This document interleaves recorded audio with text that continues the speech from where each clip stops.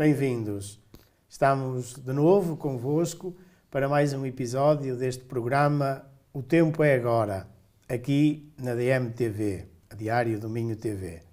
Hoje vamos conversar com o Dr. Eduardo Jorge Madureira, presidente da Comissão Arquidiocesana Justiça e Paz.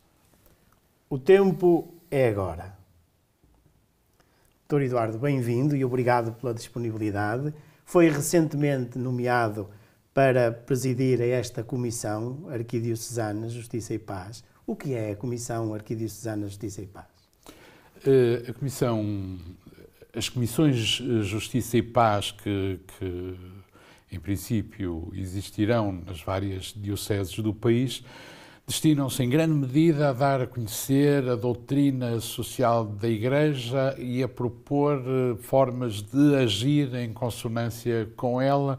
Uh, e, e, portanto, denunciar situações que atropelam justamente a justiça e a paz e que vão contra os direitos humanos e, portanto, é todo um mundo uh, de trabalho em prol do bem comum. Portanto, no fundo, sendo assim, embora um pouco genérico, é, é este o espírito global que preside a uma comissão Justiça e Paz, como é da Arquidiocese aqui de, de Braga. Existem então também, pelo que percebo, as, em todas as dioceses existe uma comissão semelhante. Em princípio existirá e há, uma, e há também a Comissão Nacional Justiça e Paz, eh, essa eh, nomeada pela Conferência Episcopal. Sim.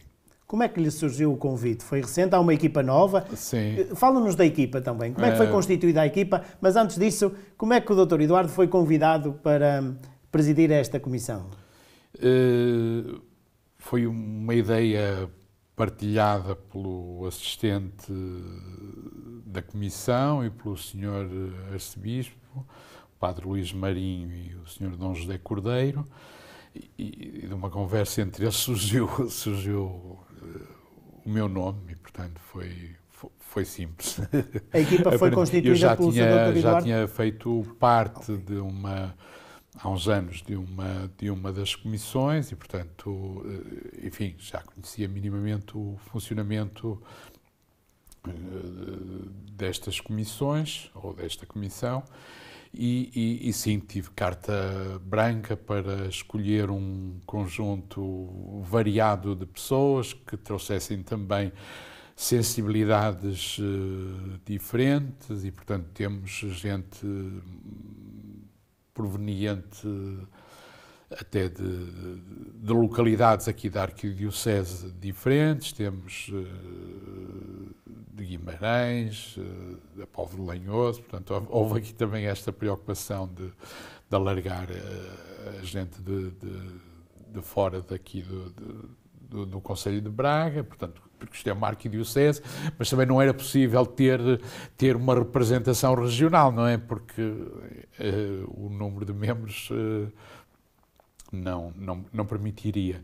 Uh, e, e, também gente de várias idades, gente conhecida, gente que, que, está, que está com vontade de trabalhar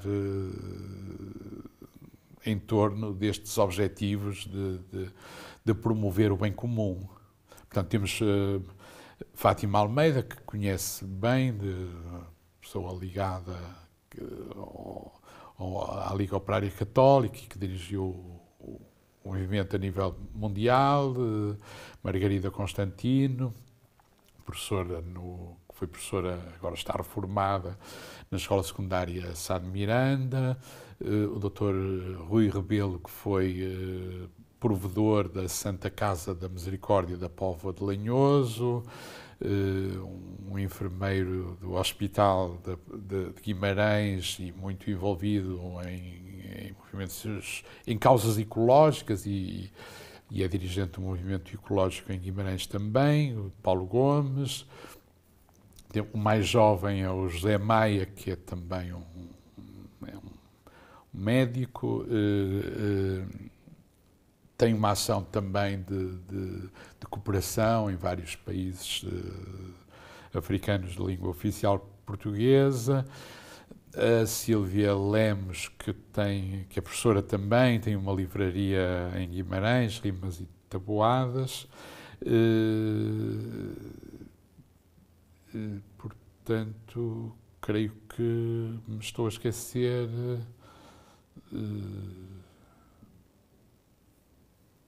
Portanto, desculpe, eu acho que estou a ter aqui uma falha, mas. Entretanto, já... na nossa conversa poderá lembrar-se e repor também Sim. esse outro elemento da equipa. Quais são os primeiros sonhos que surgiram nas vossas. os primeiros encontros? Primeiros sonhos surgiram como uh, metas para alcançar neste mandato da vossa comissão? Tivemos uma primeira reunião que, que, que se realizou, aliás, na Brasileira, o que é uma também uma novidade, eh, e, e, e foi um, um, momento para nos conhecermos um, e nos apresentarmos eh, e, e, trocarmos um pouco eh, algumas, sobretudo falarmos de temas que nos podem mobilizar e portanto foi esse foi esse o, o objetivo do, do primeiro encontro. O segundo encontro foi a tomada de posse com conferida pelo Sr. Arcebispo Dom José Cordeiro e, portanto, tivemos dois encontros. Reunimos-nos eh, pelo menos uma vez por mês e, portanto, e trabalharemos temas. O primeiro tema que, que justamente trabalhamos eh, com espírito quaresmal foi o de o, em torno do digital. E, portanto, a nossa ideia é propor uma reflexão sobre esta questão da necessidade de haver uma sobriedade digital e um discernimento eh, tecnológico. Vem muito na linha da, das encíclicas também do, do Papa Bento XVI, a Caridade na Verdade, e da, e, e da encíclica do Papa Francisco, Laudato Si, portanto, eh, as reflexões sobre a tecnologia e sobre eh, o nosso planeta, porque muitas vezes não nos lembramos, mas uh, a produção dos dispositivos tecnológicos e de um simples telefone inteligente é muito, muito mobiliza excessivos recursos planetários e, portanto, só a quantidade de metais que são incorporados na, no fabrico de um telemóvel devia nos chamar a atenção para a necessidade de nós uh, os utilizarmos com alguma, com alguma moderação e, portanto, era uma, é neste âmbito que fazemos a nossa primeira primeira reflexão, portanto, termos a ideia de que as tecnologias podem nos ser realmente úteis, mas também é preciso que as saibamos usar e fazer uma aprendizagem, porque de outro modo elas também podem ser prejudiciais e, e, e nós quase todos os dias temos notícias sobre os efeitos nefastos do uso das, das tecnologias e, portanto, é esta chamada de atenção, este pedido de reflexão eh, para este período de, agora de quaresma que, que, que, que motivou a nossa primeira intervenção pública. Eu diria esta questão para o provocar no bom sentido. E o que é que isso tem a ver com ser cristão? Essa questão do digital, de, do uso dos telemóveis, eh, o que é que isso tem a ver numa mensagem da Comissão ou numa reflexão da Comissão Justiça e Paz, num ambiente cristão, eclesial. O que é que isso tem a ver? Pois, uh, o que é que tem a ver? Para já, uh, eu podia dar uma resposta enquadrada no que diz, no que diz o, no que dizem os papas que, que, mais diretamente refletiram sobre, sobre isto. Mas tudo diz respeito ao nosso, à, à relação de uns com os outros, eh, faz diferença se for vista sob, sob este prisma uh, cristão, não é? Portanto, o, cristianismo é justamente esta cultura do encontro. E, portanto, se nós. Aliás, há uma, uma, uma, frase do Martin. É judeu, Martin Buber, mas ele foi uma vez uh, interpelado onde é que está Deus está aqui, está ali. E ele disse: não, Deus está entre as pessoas. E, portanto, é este entre as pessoas. E Jesus disse que estava no meio onde dois ou três estiverem reunidos em meu nome, eu estarei no meio deles. E, portanto, este apelo também ao encontro eh, e este apelo a que ele, esse encontro deixe de ser eh, eh, de ter ecrãs pelo meio, não é? E, portanto, por vezes isto é possível e, e que é possível que certos encontros, e a gente viu no tempo da pandemia, entre, entre netos e avós, entre pais e filhos, era uh, realizado graças uh, aos ecrãs. Era Portanto, o único meio aqui, possível na época. Aqui, exatamente, aqui o ecrã tem um lado positivo porque propiciava que as, era o único meio que permitia que as pessoas se encontrassem. Uh, mas hoje enfim, com, com, com a pandemia pelo menos dominada ou controlada, ou sem, já, não, já não vivemos nesse período uh, alarmista e de, de, grande sobressalto e inquietação, hoje podemos favorecer encontros pessoais, olhos nos olhos, e, e portanto, e, e, e, seria bom que houvesse realmente este, este, este trabalho de, de, sairmos às vezes da nossa bolha, da nossa, do nosso pequeno grupo de pessoas que não nos incomodam muito porque pensam como nós, porque não nos desafiam, não nos uh, inquietam e, portanto, nós, este nosso pequeno mundo fica muito confortável e às vezes é preciso sairmos um pouco dele e e é isso que, que, que, que o Papa Francisco uh, quer dizer quando fala sempre numa igreja de saída para as periferias, não é? Portanto, de levar também esta, esta, eh, este, esta mensagem cristã, que é uma vida diferente, este apelo a uma vida diferente, e, e portanto, isso consegue-se com o cara a cara mais do que estar nas, naquilo que, que, normalmente se fala, a bolha, não é? Estar na bolha. Um dos aspectos também que estes dias eh, também foi noticiado, e na, na, no, no, seguimento daquilo que acabou de refletir, é que os jovens eh, parece que cada vez mais querem estar sozinhos e isolados eh, nos seus, nos seus uh, telemóveis, nas suas tecnologias pessoais. E, e esse é um dos defeitos também que a pandemia nos trouxe, Exatamente. o uso excessivo, porque era o único de, desses meios tecnológicos, Exatamente. agora afastou os jovens do convívio e daquilo que é saudável e que é naturalmente cristão nessa uh, possibilidade de encontro. Não é que por vezes não, dizer, não é mau às vezes este espaço de, de, de de alguma interioridade que possa ser desenvolvido estando a pessoa sozinha, não é? Portanto, não é um, não é um mal, mas precisa de ser condimentado, precisa também do encontro, precisa também de, de, desta saída, quer dizer, não, eh, os amigos eh, em idades diferentes precisam de ser cultivados e nos anos eh, é para, enfim, uma vida um bocadinho mais aventureira, noutros anos uh, uh, para uma vida mais uh, pacata, mas é com presenças e com olhos nos olhos que, que, que, que, as coisas valem mais a pena, não é? Portanto, e, e há uma, um trabalho a fazer também para de, de aprofundamento das relações e de, e de quer dizer, é uma aprendizagem a fazer, não é? Porque, evidentemente, as coisas nem sempre são fáceis e hoje nós vivemos um período de grande polarização ou de grandes polarizações e, portanto, facilmente as pessoas uh,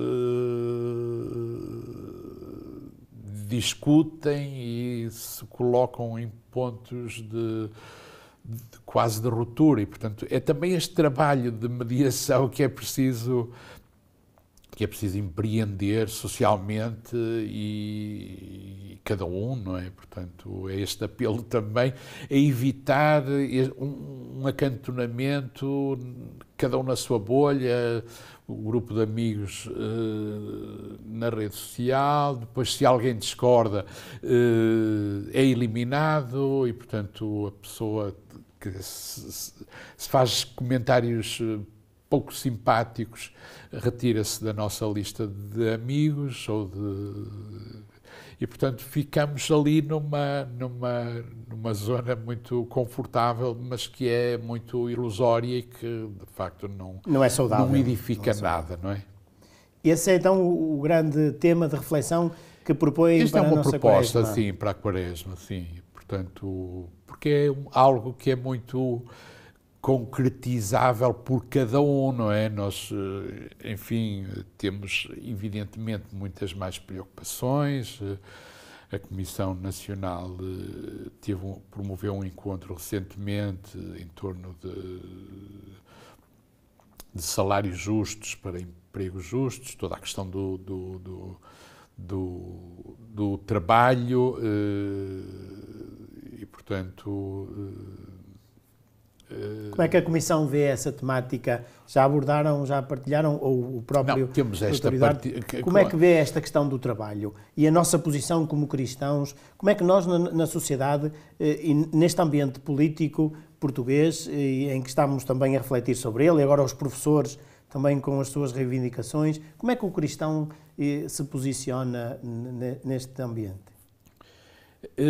É Aqui a iniciativa da Comissão Nacional de Justiça e Paz teve o mérito de ser, eh, de ir, eh, de mobilizar várias entidades, eh, quer os organismos cristãos que estão no mundo do trabalho, quer o mundo empresarial, e portanto houve aqui um trabalho e resultou, daí resultou um documento no sentido justamente de, de, de promover um trabalho com, com, dignidade, um trabalho com direitos e, designadamente, com direito a um salário que seja que, se, que, que seja permite, digno e seja exatamente, justo. Exatamente, exatamente. E, portanto, e, e, mas estamos, é um, é um grande problema hoje, não é, com esta precarização que nós, que nós, que nós vemos, com, até com, com isso entronca com o digital, com, com, com questões relacionadas com a transição digital, que em muitos casos eh, tem destruído empregos, não é? portanto, há, há, há, bancos que fecham porque as pessoas podem ter aplicações, há serviços que podem, serviços públicos que podem ser encerrados porque há coisas que podem ser feitas também em aplicações. Portanto, há esta preocupação hoje também de, desta transição e, de, e depois a pandemia trouxe esta questão também do, dos tempos de trabalho, eh, trouxe a questão também do trabalho em casa e, portanto, e, e, das dificuldades que isto coloca, nomeadamente no desregulamento de horários. Há toda esta questão que tem movimentado a sociedade portuguesa nos últimos tempos, que é uma questão de trabalho que tem a ver com os professores. E, portanto, há aqui um, um mundo é, gigantesco que, que, se cruza com outros aspectos e que, e que, e que tem de merecer também mais atenção, não é?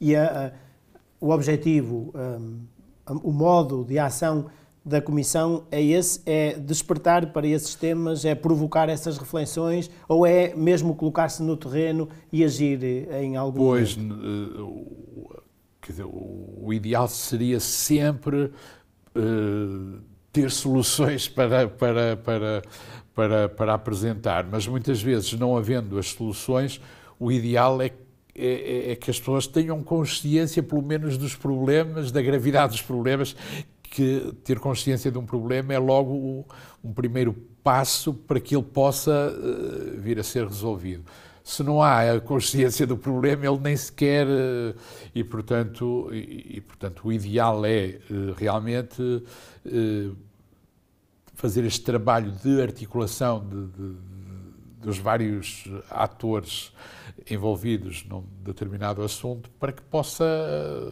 haver também propostas de soluções que possam uh, ser replicadas, não é? E pronto, tem havido algum trabalho, por exemplo, o, o, o Papa tem, tem, Francisco tem promovido diversas iniciativas no sentido de se procurar encontrar uma nova uh, forma de, de, lidar com a economia, colocá-la mais ao serviço de, de, do bem comum uh, e, portanto, tornando-a menos uh, menos especulativa e menos ao serviço de, de um grupo mais reduzido de pessoas. Tem-se falado na Igreja, na, na, economia de comunhão, que, e, portanto, que tem vindo a ser, a dar passos com significado em, em, em, em vários sítios. Em Portugal, ela foi muito, foi muito defendida por uma presidente da Comissão Nacional de Justiça e Paz, a professora Manuela Silva. Portanto, aqui, enfim, é um mundo inesgotável. Que outros temas estão na vossa agenda desses primeiros encontros que tiveram? Que outras perspectivas têm nesses sonhos para este mandato? Que outras abordagens nos poderão vir a propor? Pois, eh, infelizmente, os temas são muitos. Seria bom que houvesse, que houvesse, que já tivéssemos eh, muitas situações problemáticas resolvidas e que não houvesse necessidade de, de, de, de, procurar olhar para tantos problemas. Mas, sem dúvida alguma, o, estamos confrontados com um grande desafio, que é o das mudanças climáticas e da ecologia, que justificou uma encíclica do, do Papa Francisco em torno justamente uh, deste problema, não é? Laudato Si, portanto, uh, que é assim uma grande carta em defesa do planeta. E, portanto, este é, enfim, o, o pano de fundo uh, disto tudo.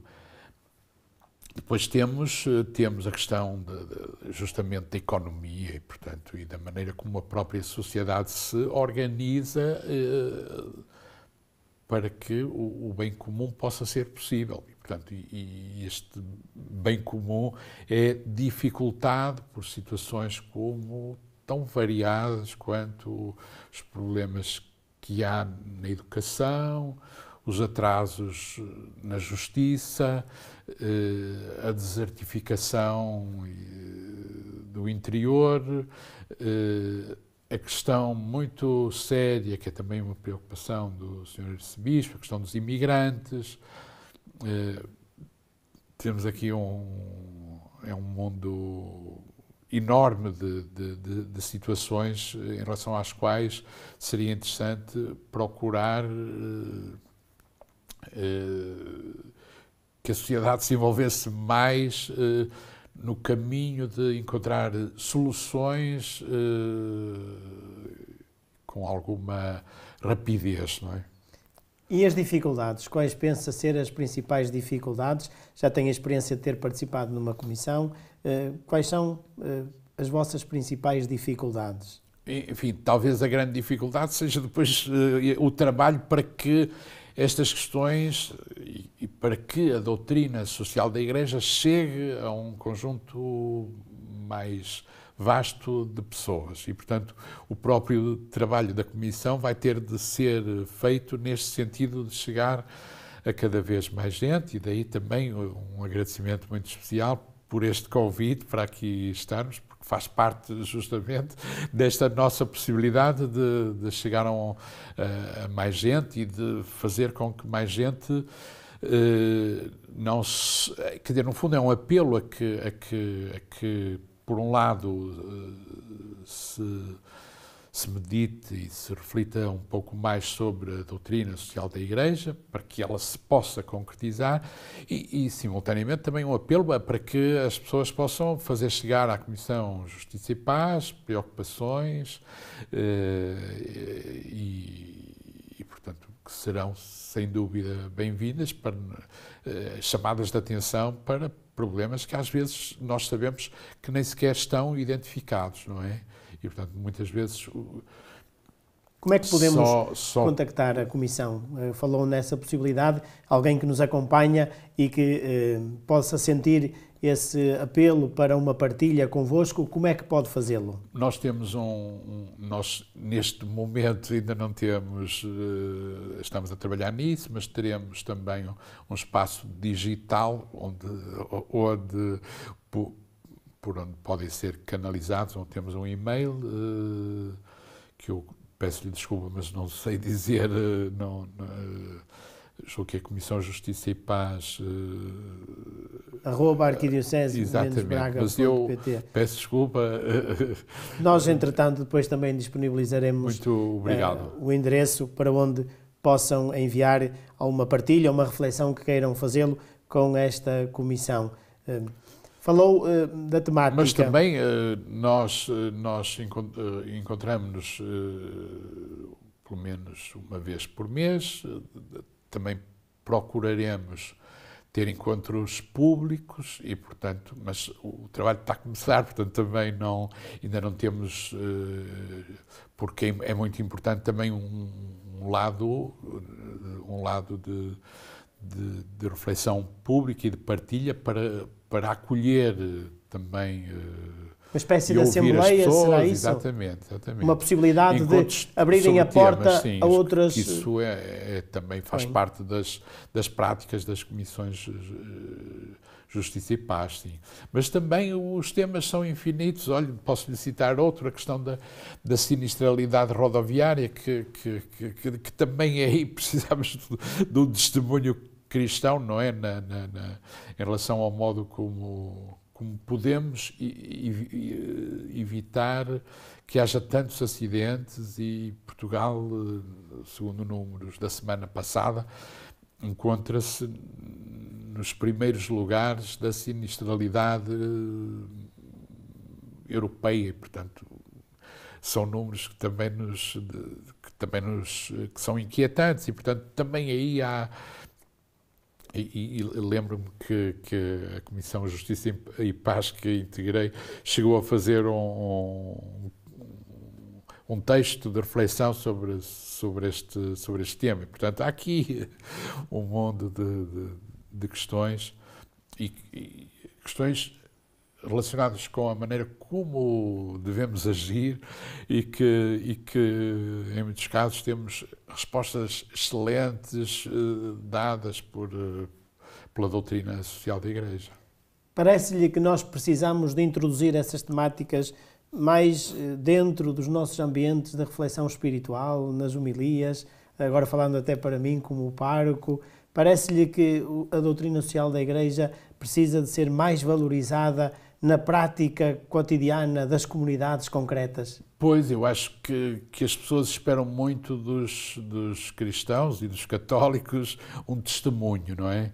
E, portanto, este testemunho deveria ser, não, não nos, nós não somos chamados a compartimentações e, portanto, deveria haver aqui uma, uma unidade, se possível, e, portanto, esta unidade eh, significa que nós não deixamos de ser católicos quando entramos no carro, nem deixamos de ser católicos quando somos uh, trabalhadores, nem, portanto, este trabalho de tornar o nosso dia a dia mais consciente do que significa ser cristão, eu acho que tudo isso é muito é muito útil, mas eu também acho que fazem falta os espaços de espiritualidade e, portanto, uh, Sim, toda essa exatamente. correlação portanto, de portanto, reciprocidade este, na, na, vida. As várias dimensões contam e, portanto, há que também uh, mobilizá-las, não é? Portanto, a gente funciona em vários... funcionamos também de, bem uh, e, portanto, podemos responder perfeitamente, a, mas acho que sim, que é um desafio também importante ter atenção a estas, a estas, a estas questões eh, que fazem também a nossa vida, não é? Nesta uh, nova comissão, porventura também irão abordar, ou já abordaram, uh, esta vivência do sínodo na Igreja. Uh, como é que lhe parece que possam dar também esse contributo? Como é que está a ver este sínodo na Igreja Católica? da parte até do Dr. Eduardo, o que é que lhe parece de positivo do que está a acontecer? Pois, muitos de nós estamos envolvidos, não, não enquanto especificamente comissão, mas noutras, noutras uh, realidades uh, eclesiais e, portanto, em termos de comissão não tem havido ainda, quer dizer, não houve ainda possibilidade também de, de, de trabalho neste sentido, mas é, é sem dúvida um, um, um, espaço, mais um, mais um, mais um, um propulsor, não é, da nossa, da nossa, da nossa saída e, portanto, é muito, é uma, esperemos que esta dinâmica prossiga, se alargue, seja mobilizadora, acolhedora e, portanto, e que, e que, e que seja fiel a, àquilo que é verdadeiramente ser, uh, o, o ser cristão, que é sempre este encontro pessoal com a pessoa de Jesus Cristo. Nós estamos a aproximar-nos do final deste episódio e eu gostaria de lhe perguntar, para também se dar a conhecer a quem nos acompanha, quem é o Dr. Eduardo Jorge Madureira? Uh, bom, uh, assim muito rapidamente, eu neste momento não, não, não exerço a atividade docente, fui professor durante muitos anos. A minha área de trabalho mais recente está relacionada com a educação para os média. Portanto, durante muitos anos eh, fui o diretor pedagógico de um projeto que o Jornal Público tinha, eh, chamado Público na Escola.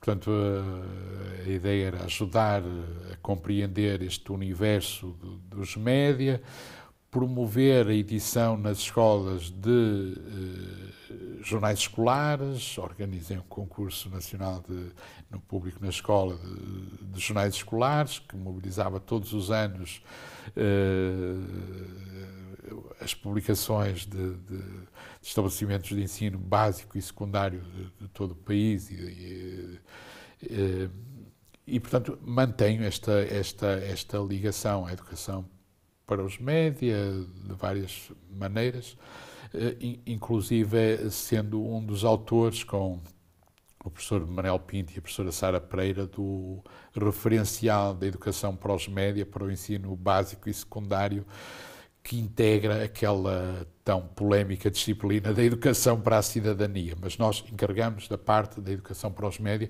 porque achamos que, que, que as escolas hoje eh, têm a obrigação de, de, de, estar atentos a este fenómeno e, e, e não é possível uh, escapar-lhe.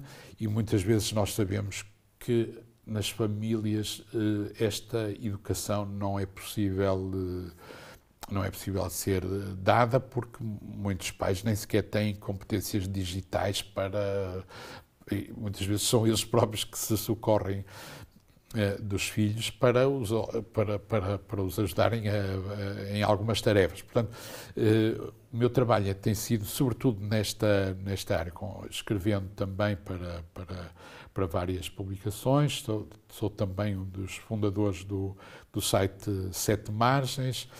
Portanto, uma atividade, continuo, continuo a, a, manter a relação com as escolas, a ser convidado para ir a as escolas normalmente dinamizar atividades relacionadas com, com a educação para os médios. Portanto, este é o meu, a, minha, a minha área de trabalho desde, desde já há algumas décadas. Obrigado. E é também nosso colaborador sim, no Jornal Diário Domingo, Diário com domingo, regularidade ao domingo, ao domingo. Muito obrigado. Eu é que agradeço. Jorge Eu Madureira, é pela disponibilidade em estar connosco e também pela reflexão que connosco partilhou neste episódio. Muito obrigado, eu é que agradeço. Obrigado também a todos vós que nos acompanhais. Até à próxima semana, se Deus quiser.